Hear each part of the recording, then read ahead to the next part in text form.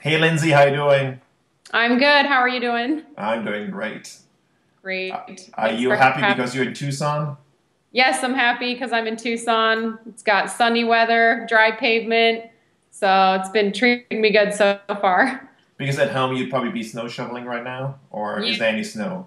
no, there's a lot of snow at home. I've been getting updates from the house sitter and friends at home, and it looks pretty snowy and white there. Um, so when you go to a trip like to Tucson in this case, do you take Madison with you?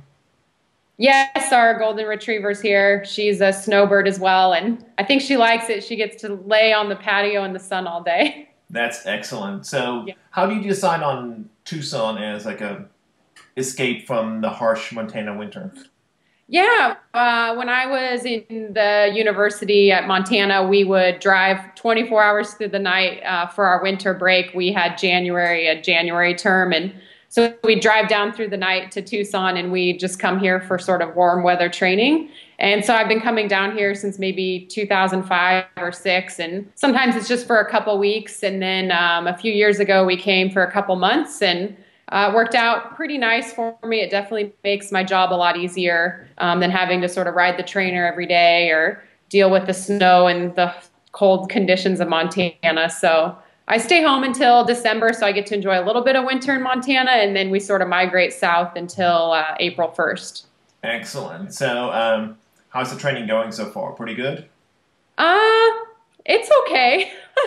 I'll be honest, I take um, a pretty honest off season and it just you know i think it's individual for each person but for me i definitely take you know a good four to six weeks off. And so the first few weeks down here are always kind of rough and um, kind of remind yourself of like why did i take all that time off? But um, now it's kind of getting to the fun part where i'm seeing improvements every session and starting to get fit again and find my old form. So the last few weeks were a little rough but now i'm starting to feel good but uh, a longer off season, I guess, really recharges your batteries as well to some degree. Because if you if it's really short, how can you really go at it full bore? yeah, exactly. And I mean, I raced all the way till the end of November, so um, I don't feel too guilty about it, and it's worked out well for me. You know, last year I did the same thing. I took four weeks, basically all off, no structured training, and um, I don't know. It's a time to enjoy things in Montana that you don't get to enjoy other times of the year, and um, it definitely makes, like I said, the first few weeks back are, are rough and your body hates you. But I think for longevity in my career in the sport, it, it works really well for, for me. Hey, I noticed actually during the off season you made a really really cool clock out of bike parts. Yes. Um, a, I didn't know you were an artist, and B, who was that clock for? yeah, so we had um, uh, we have a triathlon party where we do sort of the gift exchange, and some people bring white elephant gifts, and some people bring nicer gifts, and you kind of don't really you're not supposed to spend a lot of money on it. So I was trying to think of a good way to sort of make a recycled gift. Um, so I made the bike clock, and that was pretty cool. It's a good way to use spare parts that you have laying around. And we actually have a, um, it's called Free Cycles. It's a bike shop in Missoula where you can go and build bikes for free, and you can donate old parts. So I went there, and it's like going to a vintage store, and you got to dig through sort of all the different pieces they have, and um, built a clock. So, and it was one of the first items to get stolen and frozen at the party. And my friend Ryan is the proud owner. Excellent. So now that you did such a good job with it, did you plan to make one for yourself as well, or? Yes, well, actually, I was afraid that it was gonna not work, so I made two clocks.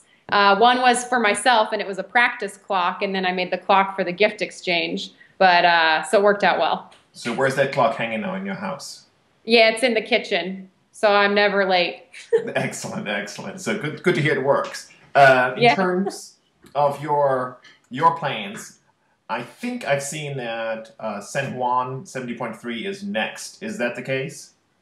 Uh, yep, I'll be kicking off my season in San Juan. Um, I've thought about maybe jumping, literally jumping into Escape from Alcatraz, which is March 3rd. But um, for sure, you know, I think my first sort of A or big race that I'll be preparing for will be San Juan, March 17th. I think um, at least two years ago, I think you did Pucón. Yep. Um, but that's super, super early in the year. I, is that the reason why you have not done it this year or last year? Yeah, it's tough. You know, for three years, I think I went right in a row, and I absolutely love that race, and the experience is amazing. But it definitely is pretty early, and um, I think I really love racing Ironman Arizona, and I think with our new point system, racing an Ironman after Kona works well for me. Um, so it's just really hard to race all the way through November and then turn around and go race in Pucón in early January. And it's a really tough course. I don't think you can show up there unprepared. You know, it's a definitely one of the hardest uh, half Ironman run courses. So um, I haven't been able to go. And every year when uh, my friends are down there, and you see the pictures from the race. I'm like, I got to go next year. I'm really missing out. But um, you know, it makes for a long year to race January to November. So uh, maybe next year with some better planning, we can make it happen. Yeah, I think it, I think there's so many good races you may want to go to because they are interesting in terms of either the surroundings or uh, the people or whatever it may be or the challenges, but you can't be on every party and dance on every party. Yeah, exactly. And I think, you know, each year I sort of pick a new race that's sort of an adventure race or somewhere that's more, you know, exotic or somewhere different that I've never traveled to that um, is sort of a fun sort of holiday or vacation race. And so, you know, last year we tried San Juan. I'd never been there before and it was awesome. So I just, you know, I'm open minded. I like to try new things and that's perks of our job, I guess. Um, last year you also did Austria and won I'm Ironman Austria. Yeah.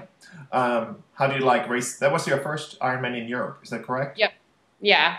No, it was awesome. I mean, it lived up to all the expectations and the hype that I'd heard about. Um, I really wanted to go race in Europe, and so I sort of asked around to a few other professionals. You know, what's your favorite Ironman? Or if I go race in Europe, which one should I do? And hands down 100% of people were like you have to go to austria you have to go to austria. And um, yeah i mean it's it's a beautiful scenic backdrop for a race. And then the spectators are just you know supercharged and there's so many of them. And um, it's a really fun fast course as well. And so um, i really enjoyed the experience. What about the post-race food? Did they have good post-race food there? Yeah, they uh, well they have beer at the banquet both before and after the race. So Chris and I like that. You get a big beer steins, carbo loading. excellent, excellent. Uh, in terms of your longer races this summer, what's mm-hmm. on your schedule uh, leading up to Kona? Yeah, well, I, I think I'm going to do a pretty similar year to last year just because it worked out well for me and I liked it. Um, the first part of my year, I'll be focusing on the St. George, the U.S. Half Ironman Championships. So um, I've always uh, I actually used to go down to St. George and train during our spring break when I was on the university team. So I kind of wanted to do the Ironman there. I'm bummed that they took it away, but I'm excited to go do the half Ironman there. And then um, I'll be going back to San Juan uh, and then Honu again in Hawaii, the half Ironman. Uh, Boise 70.3, and then I'm going to actually go back to Austria because it was so much fun. and you're the defending champion. Yes, and actually this year something cool. My parents are going to come, so that's pretty exciting. That um, it's their 40th wedding anniversary, so they're going to come to Europe with us. Excellent. Uh, is it a first trip to Europe?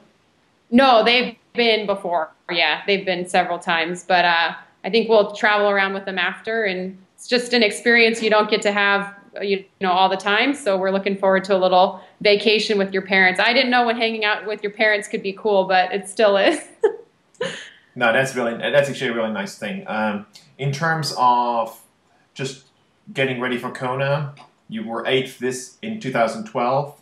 Mm-hmm. Um, I think you had a pretty smart race, but I think yeah. you know that more is still possible.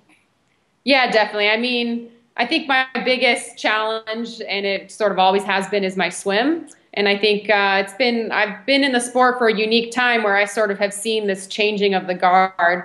Where, you know, when I first was in the sport, you could swim an hour and place in the top five at Ironman Hawaii. And just the women keep getting faster and faster and it's more competitive and you just can't do that anymore. And so the big focus for my year this year is just getting better at that swim and keep chipping away at it because I think to be competitive and be a factor in Hawaii, I just need to get a little bit faster on my swim for sure. Um, I mean, I think I'm definitely a strong biker and I definitely have a great run, but if you're not in a position to utilize those particular Ironman Hawaii, you know, you're working overtime and chasing kind of all day long.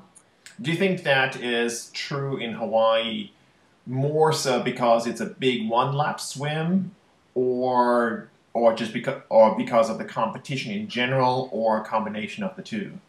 Yeah, I think it's a combination. I mean, I definitely don't think the Ironman Hawaii swim is easy by any means. There's no wetsuit, and actually that's fine with me. Like I think I have a better feel for the water without a wetsuit on.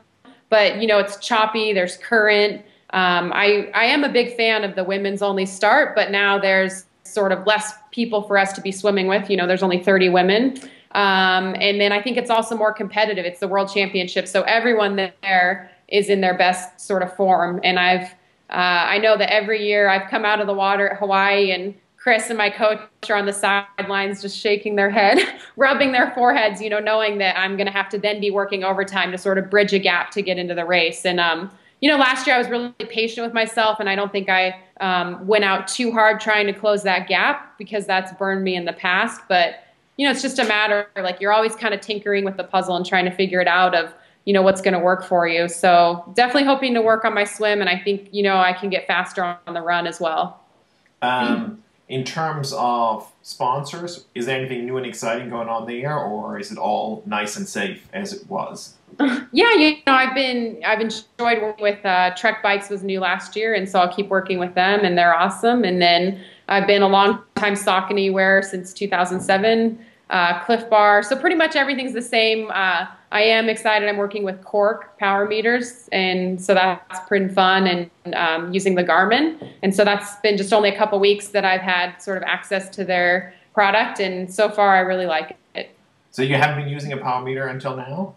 Uh, no, I'd been using the CycleOps power meter, and then um, I just wanted to work under the umbrella of SRAM, and so Quarq was an opportunity that came along, and um, I really liked the product, and so it was a good fit. Excellent, excellent. Anything else we should know? Well, um, I've got two sort of. Chris and I have picked up two things that we've really been excited about. Uh, one was when we went to Europe, we really fell in love with Vespa scooters. So we got a scooter in the uh, summer after we came back from Europe, and we're really into driving the scooter around. And uh, the other thing is, um, I want to learn to play the guitar this year. So that's sort of my non triathlon goal. Um, so I'm in the market for a left handed guitar. Excellent. So we, we're going to be keeping an eye out for, or an ear out for a concert of Linsey Corbin later this year. Yeah, I got to have something to play around the campfire in Montana. No, that sounds like the plan. Hey, Linsey, thanks so much for the chat. Yeah, definitely. Thanks for having me. Good luck to everyone in their seasons. We'll see you later. 拜拜。Bye bye